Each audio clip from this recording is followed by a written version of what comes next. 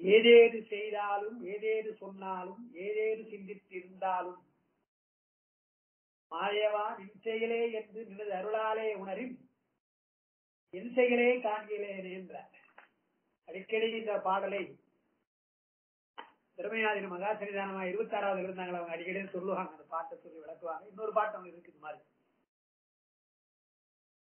செய்தல் சொல்லல் சிந்தித்தல் என்று மூன்று சொல்றதுனால மனமொழி மெய் என்று வைத்துக்கணும். ஏதேது செய்தாலும் ஏதேது சொன்னாலும் ஏதேது சிந்தித்திருந்தாலும் சொன்னால செயல் மொழி மனம். என்னுடைய மனம் என்ன நினைத்தாலும் சரி வாய் என்ன பேசினாலும் உடம்பு என்ன செய்தாலும் உன் செயல்தான். சைவ சித்தாந்தத்துல மிக முக்கியமான ஒரு பகுதி என்னன்னு சொன்னா இறைவனுடைய திருவடி அடைதல் திருவடி அடைதல் நம்ம சொல்றோமே அது சாதாரண மக்கள் என்ன நினைச்சுக்குவாங்கன்னா இறந்து போன பின்னால் பெருமானுடைய திருவடி அடைதல் நம்ம சொல்றோம் என்று எண்ணிவாங்க இறந்து போன பின்னால இறைவன் திருவடி அடைந்து இருக்குது. அது அதை நாம் மறுக்கல. அது சரிதான் ஆனால் இருக்கிற பொழுதே பெருமானுடைய திருவடியை அடைதல் என்பதுதான் அது அர்த்தம். நீங்க அப்புறம் இறந்து போனால் வீடு பேர் என்பது இருக்குது பிறவாமை அதெல்லாம் வேற விஷயம்.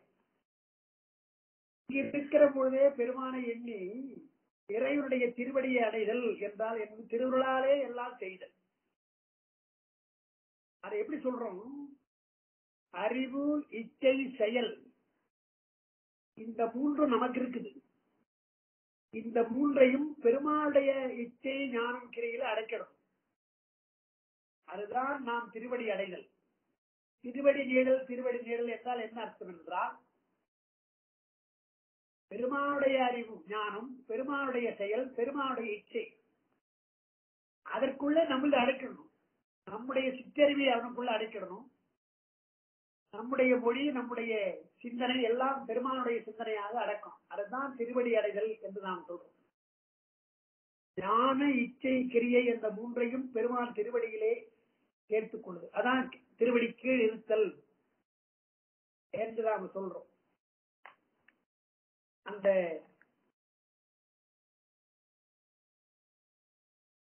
இந்தனத்தில் அங்கின் ஒரு பாட்டு இருக்குதே. அதாவது அந்த பாடல்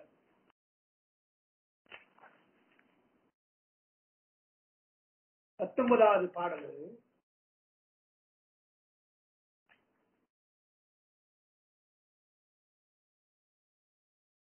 இந்தனத்தில் அங்கி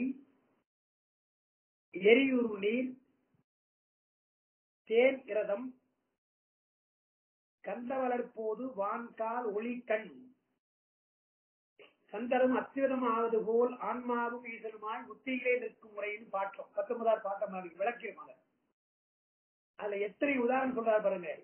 இந்தனத்தின் அங்கின்றார் விறகிலே தீன்னு அர்த்தம். இந்தனம்னா விறகு. விறகிலே தீ எரியூர் நீர் என்றால் தண்ணீர்ல நெருப்பு கலந்தது. அதாவது சூடானது வெந்நீர். எரியூறு நீர் என்றால் சூடாக்கப்பட்ட தண்ணீர். தேன் இரதம் தேனும் சுவையும். கந்த மலர்போது மலரும் மனமும் வான்கால் ஆகாயம் காற்று. ஒளி கண் கண்ணொளி. இத்தனை உதாரணம் சொல்ற இத்தனை உதாரணத்துக்கு நாம என்ன சொல்ற அத்வைதமாக சொன்னால் முதல்ல இந்தனத்தின் அங்கி விறகிலே இருந்து தீ முதல்ல விறகிலே விளங்காமல் இருந்து மீண்டும் தீ விளங்குகிறது வெளிப்படுகிறது. உள்ளே இருக்கின்ற அடங்கி இருக்கின்ற தீ வெளிப்படுது இல்லையா? அதற்கு உதாரணம் அது. பெருமான் உயிருக்குள்ளே ஆன்மாவுக்குள்ளே விளங்காமல் இருக்கின்றான். பின்னால் விளங்குவான் என்பதற்கு அந்த உதாரணம். இந்திரத்தின் அங்கி. எரியூறு நீர் என்பதுதான் ஆன்மாவிடத்துல இருக்கின்ற செயல்கள் அறிவு இச்சை செயல். இந்த மூன்றும் பெருமாளுடைய அறிவிச்சை செயலாக மாறுவதற்குத்தான் அந்த வெந்நீருங்கன் சூடு அந்த நெருப்பினுடைய தன்மை தண்ணீருக்கு வந்துடுது இல்லையா? முழுக்க முழுக்க. தண்ணீர் எப்பொழுதும் சுடாது. ஆனால் நெருப்பினுடைய தன்மை தண்ணீருக்கு வருவது போல சிவத்தினுடைய தன்மை ஆன்மாவிற்கு வருகின்றது சிவத்தினுடைய தன்மை என்றால் அதனுடைய ஞானம் இச்சை கிரியை. இந்த மூன்றும் ஆன்மாவிற்கு வருவதற்கு எரியுறு நீர் என்று சொன்னார் என்று நம்ம பார்த்தோம். அது விளக்கிருக்கோம் அன்னைக்கு விளக்கிருக்கும் ஆனால் அந்த உதாரணத்துல எரியுறு நீர் நீருறு தீயே என்றெல்லாம் கூட திருவாசகத்துல பாடுறான் அப்போ தண்ணீர் குளிரும் ஆனால் வெந்நீராக இருக்கிற பொழுது அது நெருப்பினுடைய தன்மையினாலே வெந்நீராக மாறுவது போல. ஆன்மாவுடைய அறிவு இச்சை செயல்களை பெருமானுடைய அறிவு இச்சை செயல்களோடு சேர்ப்பது என்பதுதான் திருவடிக்கு சேர்த்தல். திருவடி சேர்த்தல். அதுதான் இங்க சொல்ற. ஏதேறு செய்தாலும் ஏதேறு சொன்னாலும் ஏதேறு சிந்தித்திருந்தாலும் மாதேவா நின் செயலே என்று எனது அருளாலே உணர வேண்டும். அதுக்கு உன்னுடைய அருள் வேண்டும் உன்னுடைய அருளால் தான் நான் இதை செய்கின்றேன் என்ற எண்ணம் இப்படி வரும் என்றால் அவன் அருள் இருக்கும். அப்பதான் முடியும். எனது அருளாலே உணர்ந்தால் என் செயல் காண்கிறேன். எனக்கு செயல் இல்லை என்று சொல்றார். அப்ப இந்த பாட்டு மூலமா என்ன சொல்லும் நம்முடைய செயல்கள் மொழி சிந்தனை எல்லாம் பெருமானுடைய சிந்தனையாக மாற்றிவிட்டால் நமக்கு வினை இல்லை. எல்லாம் சிவமாக எண்ணிவிட்டால் நமக்கு வினை இல்லை. அதனால்தான் பாதகம் செய்தாருக்கு கூட பரிசு கொடுக்கிறார் சண்டேசநாயனார் தந்தையை கொண்டார் என்றால் அவர் யோகம் பாவலில் இருந்து அவருடைய செயல் இச்சை எல்லாம் பெருமானை எண்ணி செய்தது. எனவே அவளுக்கு அந்த பாரம் வரல. அவர் என்ன செய்தாலும் அதான் ஏதேறு செய்தாலும்னா என்ன அர்த்தம்? நேற்று கூட அதை சொன்னோம். சைவ சித்தாந்தம் தான் அதை சொல்லுது. அரணடிக்கு அன்பினாலே செய்தால் பாவமும் அறமாகும். அரணடிக்கு அன்பில்லாமல் செய்தால் புண்ணியம் பாவமாகும். இப்படி சொல்றார்.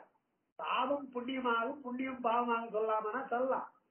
பெருமானை எண்ணினால் நீங்க செய்கின்ற பாவம் கூட புண்ணியம். பெருமானை மறந்து செய்தால் அவையெல்லாம் புண்ணியமாயிருந்தாலும் பாவம் என்று சொல்றார் இல்லையா? அதனால ஏதேது செய்தாலும் எது செய்தாலும் நடக்கும் எது செய்தாலும் ஞானசம்பந்த பெருமான் மதுரையிலே அனல்பாரம் புனல்பாரம் செய்த பின்னால் எண்ணாயிரம் பேர் கழி எழுதுகிறார்கள் தமிழர்கள் எண்ணாயிரம் பேர் எழுதுகிறார்களே அதை இன்னைக்கு கூட சொல்றாங்க. இதை ஞானசம்பந்தர் பார்த்துட்டா இருந்தாருன்னு பார்த்து தானே இருந்தாருன்னு சொல்றாங்க. அவர் ஒன்றும் பார்த்து இல்லை அவருக்கு விருப்பமே கிடையாது அதெல்லாம். கேட்கிறாதான் அழகா சொல்ற இருந்தாலும் இப்படிப்பட்ட ஒரு பெரிய ஒரு நிகழ்ச்சி நம் மூலமாக நடந்து விட்டதே என்று வருந்துறார் நாம வாதம் செய்ததால இப்படி வந்து விட்டதே ஆனா வாதம் செய்ததுக்காக ஏத்தல. மன்னன். மடத்துக்கு தீக்கொழுவினார்கள் எனவே கழுவில ஏத்துன்றான் ஆனா ஞானசம்பந்தருக்கு எந்த பொறுப்பும் அங்க கிடையாது. இருந்தாலும் நான் வந்த நேரத்துல இப்படி சாத்வீக முறையிலே வெற்றி பெற்று போகாமல் இப்படி பல பேர் இறந்து போயிருக்கிறார்களே என்றுதான் குற்றம் நீ குணங்கள் நீ கூடலாவாயா என்று அப்புறம் பாடுற போய் அப்புறம் பாடுற ஏதேது செய்தாலும் ஏதேது சொன்னாலும் எல்லாம் உன்னுடையதான் அப்பா அது நீதான் எடுத்துக்கணும் என்று குற்றம் நீ குணங்கள் நீ கூடலால வாயிலாய் சுற்றம் நீ பிராமணி. கட்டலூர் கருத்து நீன்ற நான் சொல்லி வாதம் பண்ண கருத்தெல்லாம் நீதானே.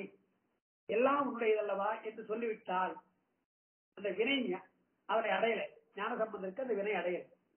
அது போலதான் நம்ம சொல்லணும். என் செய்ய எது எது செய்தாலும் ஏது ஏது சொன்னாலும் என் செயலே என்று எனது அருளால் உணர்ந்தால் என் செயல் காண்கிறேன் என்று. இந்த சித்தியார்ல வினையை பற்றி சொல்ற பொழுது வேலைக்கு வித்துமாகி விளந்தவி உணவுமாகி வரும். ஞானத்தில் வருமா போலன்னு சொல்லிட்டு நாம் செய்யும் வினைகள் எல்லாம் நாம் செய்யும் முறைகள் வரும். திருஞான சித்தியார் வேலைக்கு வித்துமாகுது விளைந்தவை உணவுமாகிறது ஞானத்திலே வருகிறது அது போல வருது இல்லையா? விதை நெல்லாக வருது அதுவே உணவாக மாறுகிறது. உணவாக ஆகின்ற நெல்லே விதையாக மாறுவது போல நாம் செய்யும் வினைகள் நாம் என்ற ஒரு வார்த்தையை அண்டலை விடுறார். சிவஞான முனிவர். நான் செய்கிறேன் என்றால் தான் வினை.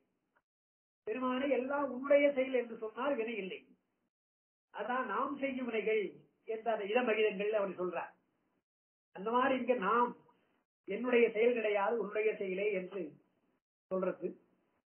அதுக்கு விளக்கம் அப்பா பின்னால எழுதுறாங்க. அடுக்குகள் பன்மை பொருளன்னு எழுதுறாங்க. ஏதேது ஏதேது ஏதேதுன்னு மூணு வருது இல்லையா? அடுக்கா வருது. அடுக்கு பன்மை. எவ்வளவோ பல செயல்கள் செய்யறோம் பல நினைப்பு நினைக்கிறோம் பல சொற்கள் சொல்றோம். எனவே அது பன்மை குறித்தது. இதுதான் இல்லை. பல வகையான செயல்கள் பல வகையான சொற்கள் பல வகையான சிந்தனைகள். இது பன்மை பொருளை. உண்மைகள் எண்ணும் பொருள்ன்ற செய்தாலும் சொன்னாலும் இருந்தாலும் என்று வருது இல்லையா? அந்த உண்மையெல்லாம் எண்ணும் பொருள் எண்ணிக்கின்றது. என்ன செய்தாலும் செய்தாலும் நினைத்தாலும் சொன்னாலும். அந்த எண்ணுப்பொருளாக எண்ணு எண்ணுமையாக வந்து அது பந்தத்திற்கு ஏதுவான இயல்பின. இவையெல்லாம் பந்தம். எது செய்தாலும் எது நீ நீ எது செய்தாலும் நீ எது சொன்னாலும் எது நினைத்தாலும் அவையெல்லாம் பந்தம். அவையெல்லாம் உனக்கு கட்டு பாசத்தை உண்டாக்கும். அதனால் அது இழிவுன்ற அந்த உண்மை இழிவுன்ற. ஏதுவாம் இயல்பனை என அவற்றது இழிவு உணர்த்துதலின் இழிவு சிறப்பு பொருளை. இழிவு சிறப்பாக இருக்கு எண்ணுமையாம் இருக்குது இழிவு சிறப்பு உண்மையாம் இருக்கிறது. எது செய்தாலும் அப்புறம் அதில் ஏகாரம் நான்கு. ஏகாரம் நான்கு சொல்ற மின் செயலே என் செயலே காண்கிலேனே காண்கிலேனே. ஒரு இருக்கு. நான் ஏகாரம் நான்கு சொல்றேன் இல்லையா? ஏதேது செய்தாலும் ஏதேது நின்று மாதேவர் செயலே என்று நினது அருளாலே அது ஒரு ஏகாரம். உணரின் என் செயலே ஒரு ஏகாரம் காண்கிறேனே ஒரு ஏகாரம். நாலு ஏகாரம் இருக்கு. அல்ல நின் செயலே நின்னது அருளாலே என்ற ரெண்டு ஏகாரம் பிரிநிலை பிரிநிலை என்றால் மற்ற ஏகாரம் மற்றவர்களுக்கு மற்றவர்களுக்கு பிரிக்குது எல்லாம் நீதான். என்னுடைய செயல் அல்ல. எல்லாம் உன்னுடைய செயல் பிரித்து சொல்ற நான் செய்வதல்ல நீ செய்கிறாய். அருள் என்றால் உன்னுடைய அருள் தான் வேறு வேறு தெய்வங்களுடைய அருள் அல்ல உன்னுடைய அருள் தான் என்று சிவனுடைய அருள் தான் என்ற அந்த ஏகாரம் அங்க பிரிநிலையா வருது என் செயலே என்ற அந்த ஏகாரம் தேற்றம். நிச்சயமா நான் செய்யலன்ற நான் செய்யல. தெளிவு தேற்றம்னா தெளிவு. நான் செய்யவில்லை. காண்கிறேனே என்ற ஒரு ஏகாரம் அது அசைச்சொல் அது அர்த்தம் இல்லை. காண்கிறேன் தான் பாட்டு. காண்கிறேனே என்று ஒரு ஏகாரம் வருது. அது அசை என்று முதல் இரண்டு ஏகாரம் பிரிநிலை. இடை நின்றது தேற்றம் ஈற்றல் என்றது ஈற்றசை என்று எழுதுறார் அப்புறம் அருளால் என்பொழில் ஆள் உருவு உடனிகழ்ச்சிக்கன் வந்தது. அது இலக்கணம் தான் மூன்றாம் வேற்றுவில ஆள் என்பதற்கு அது கருவிப்பொருள வரும். கருவிப்பொருள் கருத்தா பொருள வரும். ஆனால் இங்க உடனிகழ்ச்சி பொருள் வருது. என்ன எனது அருளாலேன்னு வருது இல்லையா? எனது அருளால் என்றால் அருளுடன் அருளோடு செய்தல்னு அர்த்தம். அருளால் என்றால் அருளுடன் உடன்பாட்டு பொருள் உடன் நிகழ்ச்சி பொருளா வருது. எனவே உன் அருளால் நான் செய்ய ஏதேறு செய்தால் என்ன அர்த்தம்? உன் அருளாலே செய்கிறேன் என்ன அர்த்தம்? உன் அருளுடன் உன் அருளின் நினைவோடு செய்கிறேன் என்று உடன் நிகழ்ச்சியா சொல்ற உடன் நிகழ்ச்சி கண் வந்தது அது ஏன்னா ஆள் என்று வந்தா உடனிகழ்ச்சி நிகழ்ச்சிக்கு உள்ளது. ஒடு என்பதுதான் உடன் நிகழ்ச்சிக்கு உரியது மூன்றாம் வேற்றுமையில. இங்க ஆள் என்று வரதுனால ஆள் என்ற உறுப்பு வந்தாலும் அது உடன் நிகழ்ச்சி பொருளா வைத்துக்கணும் எழுதுறான். அப்புறம் உணர் என்னும் முதல் தொழிற்பெயர் ஐந்து நூறு எட்டு உணரின் என நின்றது. அருளாலே உணர் என்ற செயல் உணர்ந்து வரணும். உணரின் என்று ஒரு இன் போடுறா இல்லையா? அந்த இன் என்பது ஐந்தன் உருவாக முதல்நிலை தொழிற்பெயர் உணர்தல் என்ற தொழிற்பெயர் இன் உருவாக வருகின்றது உணரின் என்றார் அன்றி செய்யநின்னி வெச்சமாக கொள்ளின் உணரும் துருமின் உரைத்து அவ்வாறு உணர்தல் அனுமான முகத்தால் பெறப்பட்டது என்று கொள்க. அது வேற விளக்க எழுதுறாங்க. ஒருவேளை அந்த செய்யின் என்ற எச்சமாக உணரின் என்றால் செய்தார் உணர்ந்தார். செய்தார் அப்படி செய்தால் என்று வைத்துக்கிட்டார் உணர்ந்தொரும் அப்படி நான் உணர்கின்ற பொழுதெல்லாம் என் செயல் அல்ல. எது செய்தாலும் உன்னை நான் உணர்கின்ற பொழுதெல்லாம் உன் அருளை என்று அருளோடு உணர்கின்றேன். பெருமான் அருள் அல்லவா என்று உணர்கின்ற பொழுதெல்லாம் அது என் செயலாக இல்லை என் மொழியாக இல்லை என் சிந்தனையாக இல்லை என்று அப்படி கொள்ளணும் அப்படின்னு அப்புறம் எட்டை மேவினார்க்கும் உடம்பும் உடம்பும் அது கொண்ட வினைப்பெயரும் நீங்குதல் இன்மையால் அவர் பிராரத்தம் எனப்படும் அவ்வினைப்பயன்களை காணும் தோறும் முதல்வன் திருவடி ஞானத்தின்றே காண்பர் என்பதும் அதனால் அவை அவருக்கு பந்தமாக என்பதும் ஏகமாய் நின்றே இணையடிகள் ஒன்றுணர. படஞானத்தால் பரத்தை தரிசித்தார் பரமே பார்த்திருப்பார் பதார்த்தங்கள் பாரார் என்பவற்றாலும் எத்தறிவில் நின்றும் இறைமணியார்க்கு இல்லைவனை முற்கைவையும் தருவான் முன் என்பதாலும் உணர்க என்று சிவஞான போதும் சிவஞான சித்தியாரெல்லாம் மேற்கோள் காட்டுறாங்க. அதாவது நிட்டை மேவினோர் என்று சொன்னால் கேட்டல் சிந்தித்தல் தெளிதல் முடித்து நிட்டை கூடுகின்ற அந்த சீவன்முக்த நிலை. ஆனால் உடம்பு இருக்குது. உடம்பிருப்பதாலே அவளுக்கு அவர்களுக்கு பிராரத்த பயன் வரும். அந்த பிராரத்த பயனும் அது நீங்க வேண்டும் அல்லவா? அது அவர்கள் வினைப்பயன். அந்த வினைப்பயனில் வருகின்ற பொழுதெல்லாம் பெருமானுடைய திருவடி நினைப்பான் பெருமாளுடைய திருவடி நினைத்து விட்டால் அது வினையாக வராது போயிடும் அந்த வினைப்ப பிராரத்த கர்மம் தாக்காது ஆகாரண வினையாக அது மாறாது. என்று எந்த இன்பத்தை அனுபவித்தாலும் துன்பத்தை அனுபவித்தாலும் பெருமான் திருவடி என்று எண்ணிக்கொண்டிருந்தார். அப்பர் பெருமான் தமிழர்கள் செய்த அத்தனை தீங்கையும் ஏற்றுக்கொண்டு பேசாமல் இருந்தார். எல்லாம் பெருமான் திருக்குறள் சொன்னார் இல்லையா?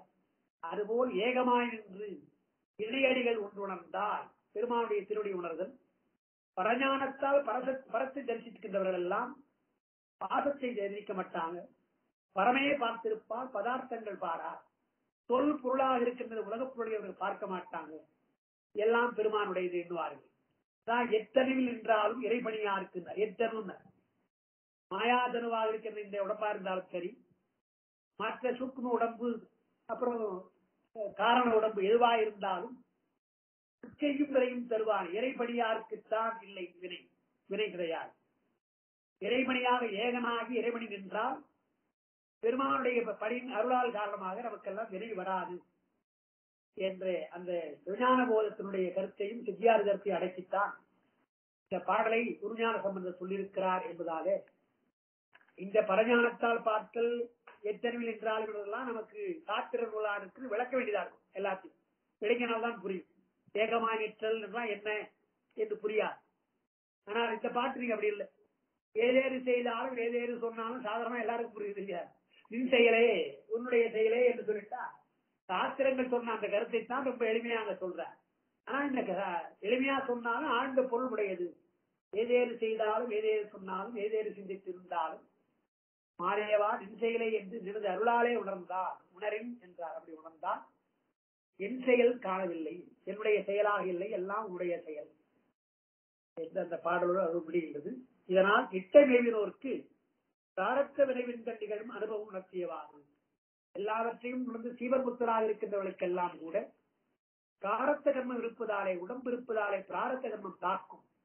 தாக்குகிற பொழுதெல்லாம் பெருமானுடைய திருவடியை எண்ணினார் திருவுருளை எண்ணினார் அது வினையாக நமக்கு வராது ஆகாத்மியமாக வராது என்பதைத்தான் பல இடங்கள் இப்படி சாத்திரங்களை சொல்லுகிறார்கள். சோத்திரங்களை ரொம்ப அழகா சொல்லுகிறார்கள். அப்பாவோட உரை நீங்க பார்த்தீங்கன்னா கரங்குவிவார் உண்மையினும் கோன்கர்கள் வெல்க திறங்குவிவார் ஊக்குவிக்கும் சிரோன் கல் வெல்க என்றதுக்கு தான் அர்த்தம்ன்றாங்க.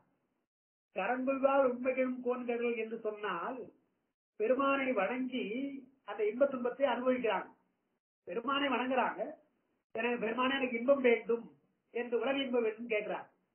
அப்ப உலக இன்பம் வேண்டும் என்று கரம் குவித்தால் அவளுக்கு ஆசாரமே வந்துடும். ஆனால் எனக்கு எதுவுமே வேண்டாம் திறம் குவித்து பெருமான உடைய திருவடிதான் வேண்டும் என்றால் அவளுக்கு ஆகார்மியம் இல்லை. எனவே கரங்குவித்தால் ஆகார்மியம் உண்டு சிறங்குவித்தால் ஓங்குவிக்கின்றான் எனவே ஆகார்மியம் இல்லை என்று அங்க எழுதுறான். இந்த கருத்தை தான் எழுதுறான். எல்லா செயலும் உன்னுடைய செயல் என்று எண்ணினால் ஆகார்மியம் கிடையாது. இல்லை பெருமானே உன்னுடைய அருளாளனுக்கு இன்பம் வர வேண்டும் என்று கேட்டு அந்த இன்பத்தை நீ அனுபவிச்சீங்கன்னா அது ஆகார்மியமாக போகும் உலக இன்பமாக போகும் என்று அது மாதிரி பல இடங்கள்ல அப்படி சார்ந்தாருக்கு இன்பம் சொல்றான் இல்லையா? சார்ந்தவருக்கு இன்பம் தருகிறான் சாராதாருக்கு பேசாமல் இருந்துடுறான்னா என்ன அர்த்தம் என்றால் சார்ந்தவருக்கு இன்பங்கள் தருவது என்பது ஆகார்மியம் இல்லாமல் ஆக்குதல். சாராதவருக்கு ஆகார்மியத்தை உருவாக்குதல் என்றுதான் தரவிலன் சார்ந்தவருக்கெல்லாம் நரவிலன் பாடுறார் இல்லையா? அதனால இதெல்லாம் இப்படி ஒரே கருத்து தான் அங்கங்கே தோத்திரங்களை வெவ்வேறு வகையாக பாடுவதை நாம் நினைத்து பார்த்தால் இந்த சாத்திரத்தினுள் உண்மை செய்யும் அதை இங்கே குருஞான சம்பந்தம் நேரடியா பண்ணார் ஏதேறு செய்தாலும் ஏதேறு சொன்னாலும் ஏதேறு சிந்தித்திருந்தாலும் மாதேவா என் செயலே என்று நினது அருளாலே உணர்ந்தார். என் செயல் இல்லை என் செயலே காண்கிறேன் என்று. அதோடு நாம் இந்த நாற்பத்தி ஐந்தாவது பாடல் நிறைவு செய்வோம். நாளைக்கு அடுத்த பாடல் நாம் சிந்திக்கலாம்